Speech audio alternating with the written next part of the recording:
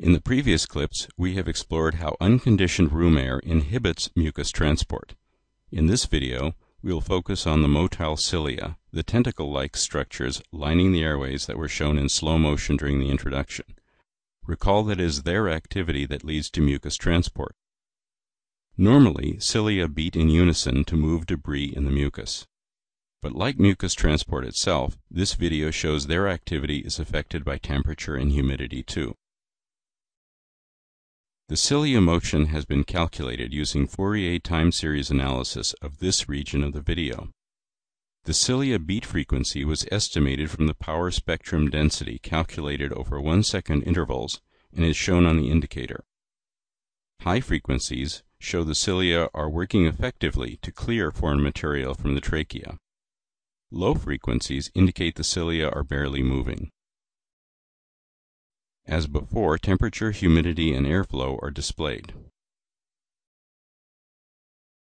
Initially operating at about 12 beats per second, cilia activity quickly drops when temperature and humidity are reduced. Activity is restored when we return to physiologically normal conditions.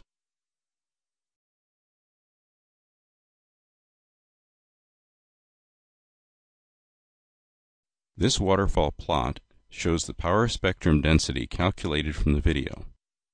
Our estimate of the cilia beat frequency is marked in black. Frequency is plotted vertically with high activity in red and low activity in blue. The solid blue region around 10 seconds corresponds to the drop in temperature and humidity during the recording. We'll overlay this shortly. Low frequency activity around 5 seconds is caused by debris moving through the region studied in the video clip.